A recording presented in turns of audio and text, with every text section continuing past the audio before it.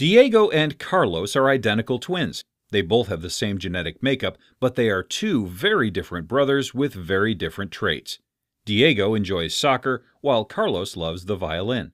Diego is right handed, while Carlos is left handed. In the same way that people can have the same genetic makeup but exhibit different characteristics, so too can elements on the periodic table. When a pure element can exist in different forms and exhibit different properties, those different forms of that element are known as allotropes. Allotropes occur when an element such as carbon can configure itself in such a way that its structure and properties change, even though it is made up of the same element. Because of carbon's ability to form four bonds, it has many different allotropes that each have their own unique properties and uses. Three main allotropes of carbon are graphite, diamond, and Buckminster fullerene. Graphite is most commonly referred to as pencil lead, although it has nothing to do with lead at all. In fact, graphite is made entirely of carbon. How those carbon atoms are arranged is what gives graphite its properties.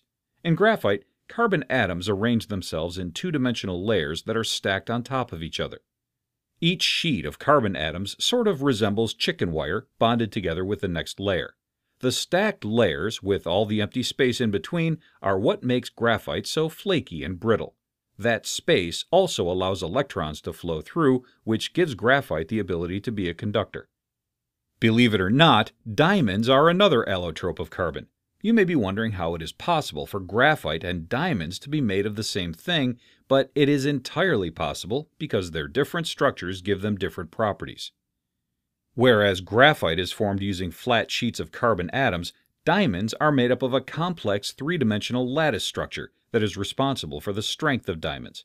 In fact, a diamond is one of the strongest materials in the world, often used on the tips of high-end tools for cutting glass or drilling concrete. Because of its lattice structure, though, it is difficult for electrons to flow through, so it does not make a very good conductor. Buckminster fullerene, or a buckyball, is another example of an allotrope of carbon. In this allotrope, carbon is arranged in a three-dimensional shape similar to a soccer ball. The caged shape gives it many unique properties which are still being studied by scientists. Buckyballs were discovered by scientists in the 1980s and were given their name after scientist and architect Richard Buckminster Fuller, who first explored the geometric structure that buckyballs exhibit.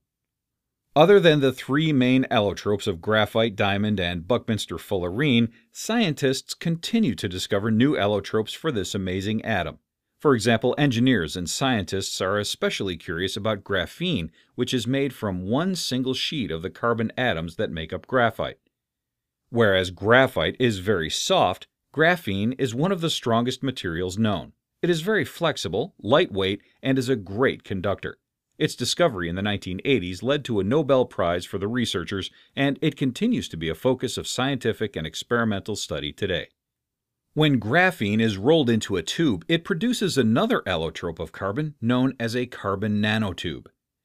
Nanotubes exhibit many different properties depending on how they are rolled together and the interactions between the carbon atoms. It is a growing field of research and has important implications for scientists and engineers alike.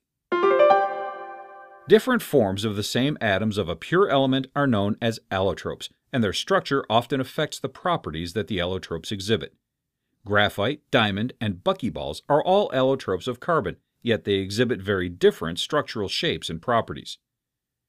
Researchers are still learning about new allotropes of carbon, such as graphene and nanotubes, and they continue to study the applications of these forms of carbon daily.